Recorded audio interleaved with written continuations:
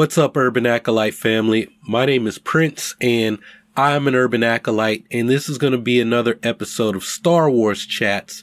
And the topic for this particular chat has to do with these Mandalorian Jedi. And I apologize if I seem kind of washed out. Um, my sinuses are still pretty messed up. And I just be honest with you guys. Uh, somebody close to me is dealing with a situation and I'm doing that weird Jedi thing where I like pick up on, um, kind of their emotional state. And, uh, it's, it's kind of dragged me down and with uh, the other person, I don't want to say who. Um, if you pay attention to the videos or you know me uh, on a bit of a personal level, it, it won't be hard to guess who I'm talking about. Um, but uh, yeah, I, I'm here for you if you're watching this video.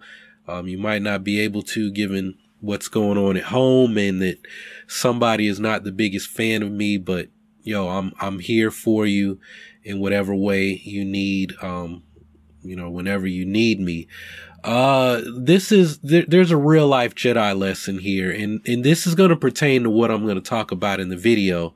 Um, for those of you who, you know, haven't already clicked off, but you know, uh, sometimes, you know, it's like people talk about why I want to be a Sith. How, how can I be like a Sith? And I'm like, why do you want to like follow the dark side? Why do you want to, uh, like focus on your passions or your happiness? And there's nothing wrong with that.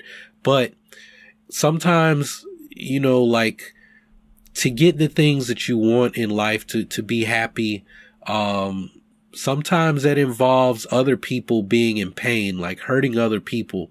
And there's a natural process to that, right? Uh, in order to grow, you have to have like a breakdown before you can have a breakthrough, right? Growth requires that something, um, dies, right? And, and is reborn, right? So, so you do have to go through pain sometimes, but to like, uh, willingly or not care, um, to, to like completely, uh, ignore that someone will have to deal, go through some suffering in order, even, even for them, if it's, you know, for them to get in a better place, they have to suffer, right? Uh, for me, I don't, it's, it's, my philosophy, right? You have to be conscious of that. Um, you have to show compassion, even, even when you say, look, you're in a bad place and to get to a better place. You're going to have to suffer. You're going to have to deal with some pain. You're going to have to struggle. But, you know, in the long run, it, it might be worth it, right? You, you won't have to deal with this situation, but then, you know, you have to deal with another situation, right? It's always that struggle. And I say this, um, as it pertains to this talk, Star Wars Rebels. If you saw the, uh, most recent, um, clip or the trailer for this weekend's episode of Star Wars Rebels, you see Sabine is being trained uh, to fight with the dark saber. Uh, Kanan is training her to fight, and he's taunting her. He's telling her she should quit. Um, and we know that Sabine is a capable fighter. It's funny. This is going to start. This is going to add some fire to the fuel that uh, Sabine is Rey's mother. But honestly, the people well, I don't know, maybe some of you are hardcore Urban Acolyte fans, but I think that the people who are big fans of that fan speculation have probably already clicked off of this video because they're like, dude, you're talking about real life stuff and not Star Wars and fuck you, Prince. I hate when you do that and your channel sucks. whatever, whatever, dog. But what I was saying, what I was getting at is we know that Sabine is a capable fighter. Uh, she's, uh, hey, she, she gone toe to toe and thrown blows with uh, two Imperial officers. She showed out on Geonosis with her jetpack and her blasters, and now she's struggling in this lightsaber fight with Kanan.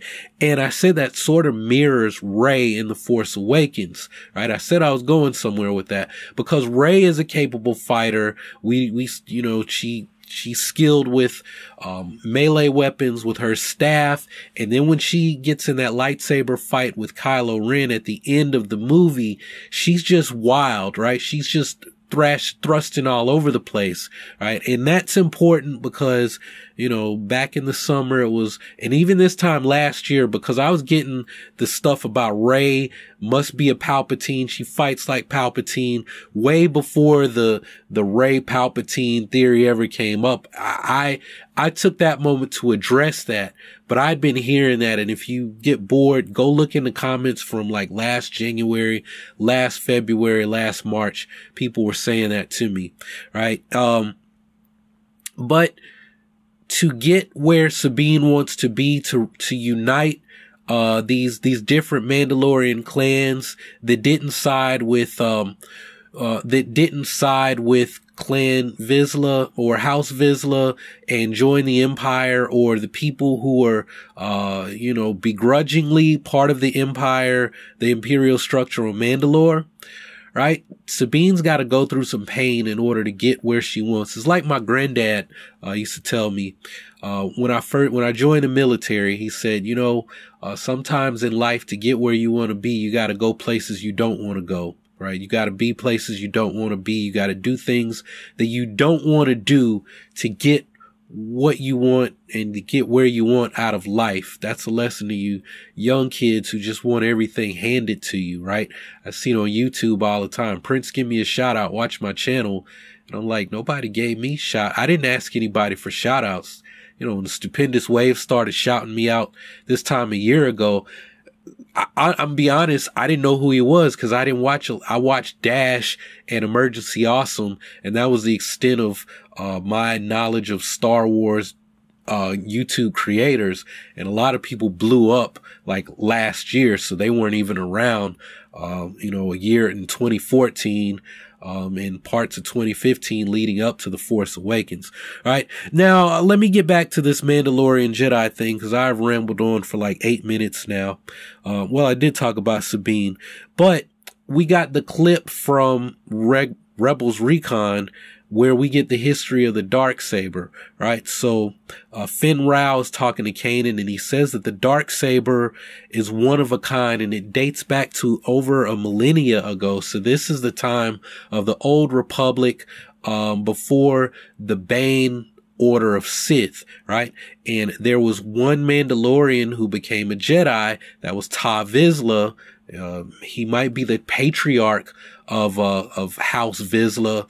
For for all we know, he became a Jedi and he created the dark saber, right? And um, I I don't remember uh, everything that was said, but I'm guessing after his passing, the Jedi kept uh, his the the dark saber on Coruscant at the the Jedi Temple there uh, members of House Vizsla raided the Jedi Temple and stole the dark saber. And you guys have heard this if you watched, if you saw that clip. And it became a symbol of um of of Mandalore, of the the true leader of Mandalore. And so this is what I said. Um, I think I said it in Geekdom's video and it got cut. I may have said it in a video on my channel. I I don't I can't keep track of conversations that I have anymore because I have so many of them now. But I said if someone asked me on Twitter if um, this picture in Thrawn's office was a picture of Mandalore the Ultimate, and I said, well, from first off, we don't know if there actually was a Mandalore the Ultimate. That's, to my knowledge, that's something that BioWare, uh, the BioWare team created, you know, for the Knights of the Old Republic games. Um, if there's somewhere else in Legends, um, I never claim to be an expert on Legends. Everything I know about Legends comes from playing uh, the BioWare video games, right? Uh, so what I said was if there was a Mandalore the ultimate, it would make sense to me that he was uh that he or she that they were a child of the force, right? Because think about it, if a, a, child of the force is just someone who's gifted, and if you have a Mandalorian culture that's based on a warrior culture, the best warrior is going to be gifted, right? It doesn't mean that they've had Jedi training or that they're using force abilities. They're just gifted, right? They're, they're physically uh, superior. They're the superior warrior, right? Think about someone who's faster, stronger, has faster reflexes. They know what's going to happen before it happens, right? They're just, they're just going to be better and we just have to accept that, right? That's the same reason that I think Finn is a child of the force because when you read about his stormtrooper, uh, training, uh, with the first order, he's just, he's just better than everyone else, right? He's in the 99th percentile, the top 1% of all stormtroopers to have gone through training. He's, he's just better, right? And that's the same way I would look at a Mandalore the Ultimate. So I said, okay, what if you have this Mandalore the Ultimate? Um, maybe, maybe the Mandalorian culture was influenced by another order of force users. And I'm going to bring that up later because there is evidence. Well, I won't say evidence of that, but there is another order of force users that has been introduced that outside of just the Jedi and the Sith and the Night Sisters, right? I'm gonna come back to that. Okay, so I mentioned in my last video that if you look at the mural um, on Mandalore in the background when Maul and uh, Palpatine are having their duel, you see that there is some kind of standoff between uh, the Mandalorians and the Jedi. And at the time, I think I said I think that's a mural of them actually stealing the dark saber. But um, as the the shot uh, zoomed out and Palpatine is you know using the Force lightning on Maul uh, to knock him out before he takes him uh, to uh, Stygeon Prime so that they can extract the location of Mother Talzin. That's all in the uh, Son of Dathomir comic book. Uh, it looks more like they're having a standoff and someone is actually holding that dark saber. So what I'm wondering is maybe uh this uh Tar Vizsla maybe he didn't always stay a Jedi. Maybe he went back to Mandalore.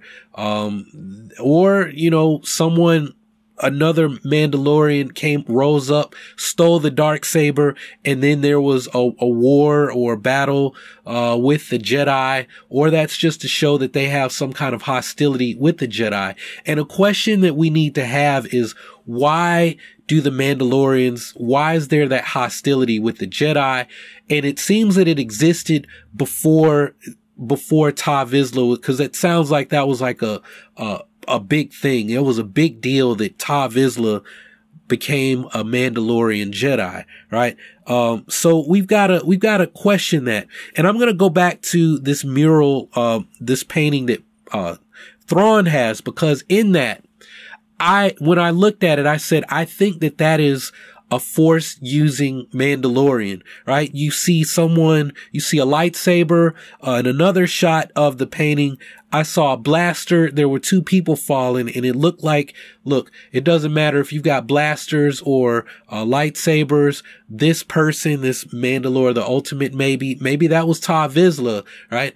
they will overcome all, right? It doesn't matter if you're a Jedi, if you're some kind of smuggler, right? This is the ultimate warrior, right?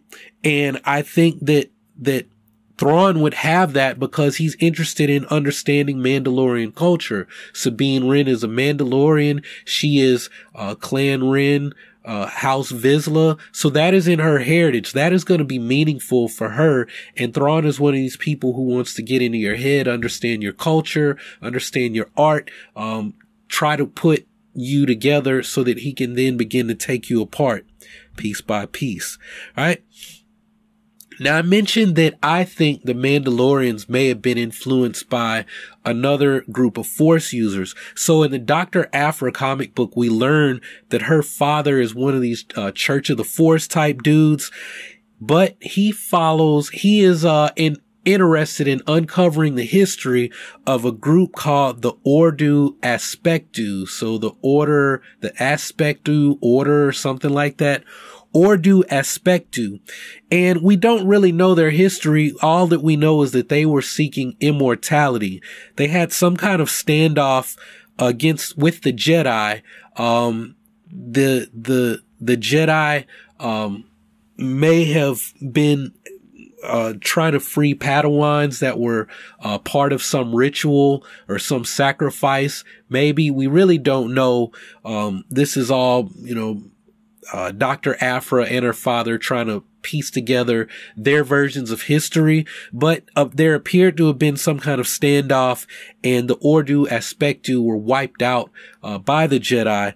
Possibly, um, I'm gonna say that Supreme Leader Snoke might have some connection to them, and uh, I'm gonna go out on a further limb and say that uh, knowing all of this makes me start to wonder if Rey might be um, uh, Dr. Aphra's daughter, right? And, they, and that's crazy. I may f- try to flesh that out and do a video on it uh, next week. Uh, if I can have time to sit down over the weekend and, and put my thoughts together. But I think it's interesting that, uh, like this Dr. Aphra comic book seems to be, uh, have this storyline investigating this ancient order of force users. Her father is some kind of uh, Church of the Force type dude, uh, operating, uh, during the, between the events of A New Hope and Empire Strikes Back. And he believes that there's going to be some kind of spiritual awakening of the Force that will, um, strike a return of the Jedi, the Sith, uh, and, and, and this Ordo Aspectu, right? And he thinks that the key to doing that is to unlock whatever their, uh, quest or their secret to immortality was. Um, so that's interesting. Another thing to think about, and I talked about this in a video a long time ago, is uh, the Lando Calrissian comic book, right? Uh, there was that mask that was in Palpatine's ship in kind of the shrine area that was corrupting people, right? It corrupted the Red Guard. It corrupted those Panther dudes that were running around with lightsabers trying to kill Lando and, um, and his homeboy with the, the computer implants and the little freaking Ugnaught, um, uh, archaeologist or researcher that was with him. Uh, the little Ugnaught dude did get corrupted by the mask and then the Panther guys killed him. Um, but I think I talked about that in a video, maybe on like the Knights of Ren or something. I don't remember because I said, you know, where may it, it, actually I I introduced that thought there too. I said maybe the Mandalorians were influenced by the Sith, but maybe the Mandalorians were actually influenced by this Ordo Aspectu, and that's where they get their mask from, right? Because uh, the Kylo Ren's helmet, what the Knights of Ren wear, it says that this is part of, uh, the, the Knights of Ren, um, like their their it's their design right? And i said well where did they get their design from? Who do they come from right? And so if we look at the knights of ren as being um an order like a religious order because they're the religious or the mystical arm of the first order and snoke is part of that and and it you know we we think that they have ties to the mandalorians what if the mandalorians have ties to another group of force users, force wielders, right? And so, I mean, it's only natural. Anyone can be a child of the force, but if you have, if you have this Mandalorian culture and they were once some other order of force users that fell out. The Jedi tried to crush them and said, we're not going to allow these guys to study the force. And then this Ta Vizsla guy comes up and we say, okay, we're going to call a truce. We're going to teach this guy to become a Jedi. We're going to reintroduce, uh, uh, the, the, the Jedi training or force training to the Mandalorians. And then it just all goes bad right? It, it goes sour. Um, that, that's something interesting to think about. And that might be why the, the Jedi kept the dark sabers. That was symbolic of them withholding that knowledge from, um, the Mandalorian culture again. And that, you know, there could, we could get all into why the Mandalorians and the Jedi, like, don't get along, which goes back to that, uh, mural on Mandalore that we hate the Jedi, the, uh, and the Jedi hate us. And this, uh, dark saber, whoever has that is the, the true leader of Mandalore. And that's, uh, they've, they've literally, they've got knowledge that's, they, they've got this, physical symbol of knowledge that's been withheld from us. So that's uh, interesting things to think about. Uh, but what do you guys think about all of this, and what are you looking forward to in uh in learning in uh, this episode where Sabine is going to be training with the dark saber, and then when uh, Rebels picks up from their break um, in mid February, when we actually see uh, uh Sabine go to uh, her home planet to reunite with her mother and attempt to unite these Mandalorian clans. So let me know your thoughts down in the comments section below, and I'll be checking back to see what you guys have to say. If you haven't subscribed already, go ahead and click on the subscribe button so that you can take your first steps towards becoming an urban acolyte. Use your love for Star Wars to uh, help you make positive changes in your life and in the community around you. Make sure to continue to support the channel by checking out some of the other videos and uh, sharing these with your friends who are interested in uh, in uh, deeper conversations about Star Wars. But that's all I got for now. So thanks for watching. Y'all keep on breathing. May the force be with you always.